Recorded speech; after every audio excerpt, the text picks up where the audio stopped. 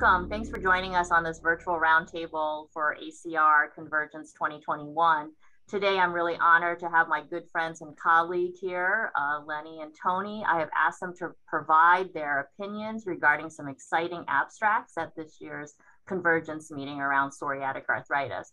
So I also want to highlight another uh, abstract 488 on brepocitinib. Um, kind of exciting. This is a new mechanism. We've heard a bit about TYK2 inhibitors in RA.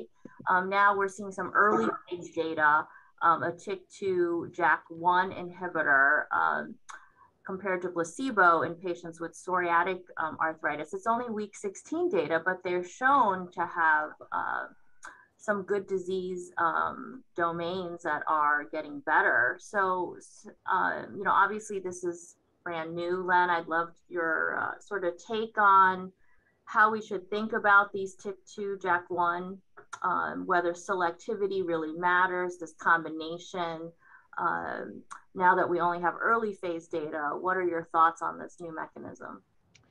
Well, I think TYK2 is a very attractive target um, in uh, psoriasis. It's uh, very involved in uh, uh interferon pathways. Um, we have, there are a number of drugs which are uh, honing in on TYK2. brepocitinib um, is a more traditional JAK inhibitor. It inhibits the kinase domain um, and has some selectivity for TYK2 and JAK1 um, and actually JAK2. Um, uh, the data are promising, um, but I don't. I am unconvinced at this early juncture that the the selectivity here will be uh, dramatically different than our JAK1 inhib uh, our other JAK inhibitors, uh, uh, which target that domain. Deucravacitinib, which we're not really talking about, is um, also early in development, and this is a, a more unique MOA because it uh, targets the pseudokinase domain of TYK2 and really has some selectivity there.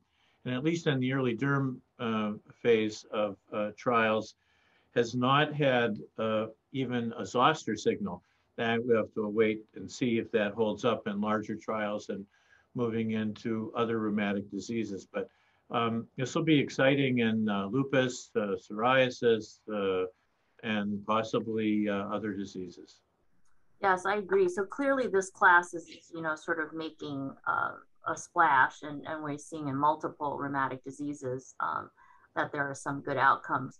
But I would love to hear, Tony, what is the JAK class um, for you guys in psoriasis? Um, what are your thoughts on how the JAK inhibitors are working? Well, I think as Len mentioned, at least in in dermatology, there's a lot of excitement surrounding deucravacitinib.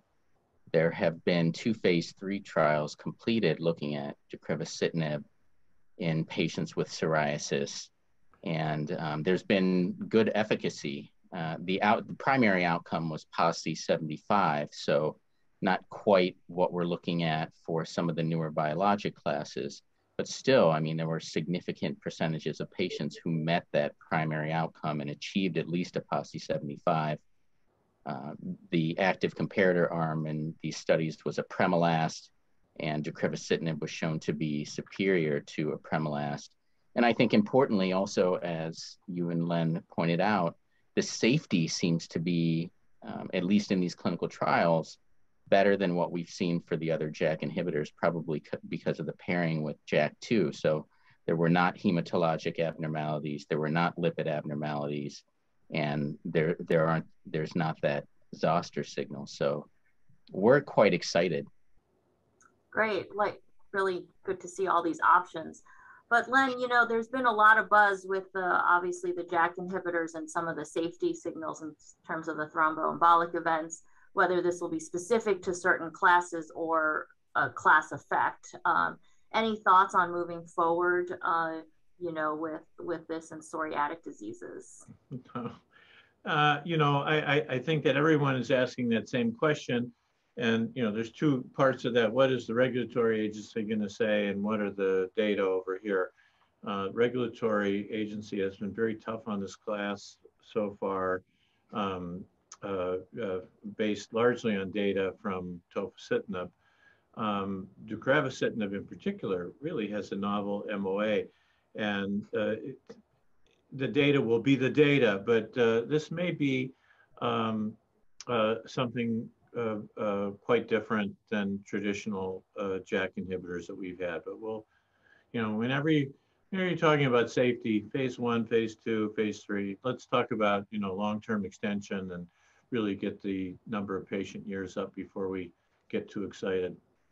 Yeah, the other interesting thing I, I think is that in psoriasis, Tony, I think the patients are a bit younger than perhaps what we see in RA. And I don't know if the population, you know, the nuances of the safety may may play a role in the future as as Len says as we get long-term um, extension data. Sure, back. absolutely. There, you know, these are just two clinical trials and and may not tell the whole story. So we're always welcome more data and longer term real world data to really know what these medications are going to do clinically in terms of efficacy and their safety signals. Agreed. Excellent. Thank you very much.